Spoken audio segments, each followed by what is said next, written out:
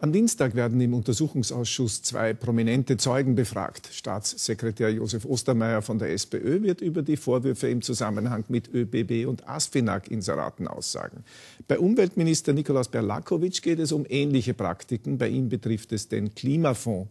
Sein Ressort wird aber auch in einem Rechnungshofbericht, der derzeit im Bild vorliegt, hart kritisiert. An die 30 Millionen Euro gab das Umweltministerium laut dem noch unveröffentlichten Rechnungshof-Rohbericht von 2006 bis 2011 für die Öffentlichkeitsarbeit aus. Fast ein Drittel davon sei in den Internetauftritt geflossen. Und das ohne Ausschreibung oder Einholung von Vergleichsangeboten, obwohl das die Kosten gesenkt hätte. Vor allem die Neugestaltung des Webauftritts sei als vergaberechtlich unzulässig und zudem als intransparent einzustufen. 13 Millionen Euro habe das Umweltministerium für Inserate ausgegeben, wobei in landwirtschaftliche Zeitungen und in Printmedien zum Thema Essen Gastronomie in einzelnen Jahren beträchtliche Auftragsvolumina flossen, kritisieren die Prüfer. Zumal ein Teil in Printmedien mit untergeordneter oder nicht bekannter Reichweite ging. Und die, und das wird vom Rechnungshof nicht ausdrücklich angesprochen, sind im Umfeld des ÖVP-Bauernbundes angesiedelt. 2010 schmückte gleich 94 Prozent der Inserate ein Foto des Ministers.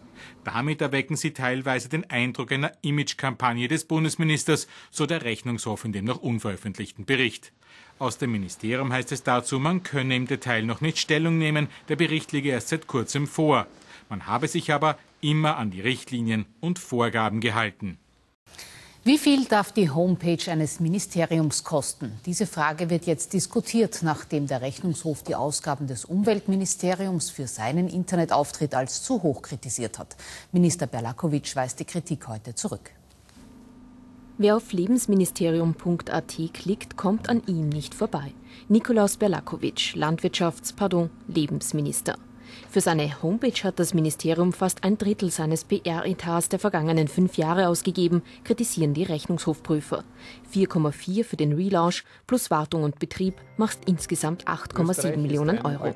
Kosten, die der Minister heute am Rande einer Pressekonferenz zurückweist. Die tatsächlichen Kosten für den Relaunch der Website des Lebensministeriums betragen nämlich rund 1,35 Millionen Euro. In der kolportierten Summe von 4,4 Millionen Euro seien Inhalte und Verwaltung der Seite mit eingerechnet.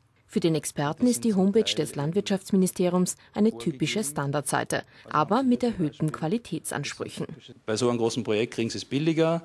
Das heißt, der Personentag kostet Ihnen vielleicht 600 Euro. Dann kommen Sie auf einen Preis von ungefähr so 1,3 Millionen Euro. Darin inkludiert werden aber bereits alle Inhalte bis hin zu Videos in Gebärdensprache. Wenn die aber nicht drinnen sind, ja, dann wird es schon ein bisschen viel. Zum Vergleich, die Homepage des Parlaments hat laut Rechnungshof nur knapp 2 Millionen Euro gekostet.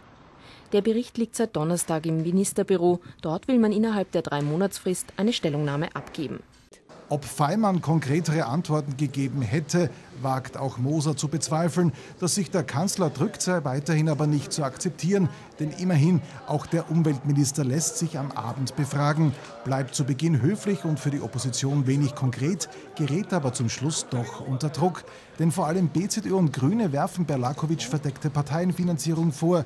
Der Minister gibt auf die Frage von Peter Pilz an, die genauen Besitzverhältnisse der mit Inseraten gesponserten Bauernzeitung, an der auch der ÖVP Bauernbund beteiligt ist, nicht zu wissen, obwohl er Bernakovic laut Pilz selbst im Impressum steht. Ich habe ja gesagt, dass ich weiß, dass der, Baum, der österreichische Bauernbund einen Anteil hat, aber die genauen Besitzverhältnisse äh, dieses Mediums waren mir nicht bekannt. Ich meine, das ist kein Manko, auch wenn Sie selbst im Impressum stehen. Das also ist, äh, sehe ich nicht so. Trotzdem ist die Optik nicht seltsam. Also, schönen Abend. Sprach's und will keine Fragen mehr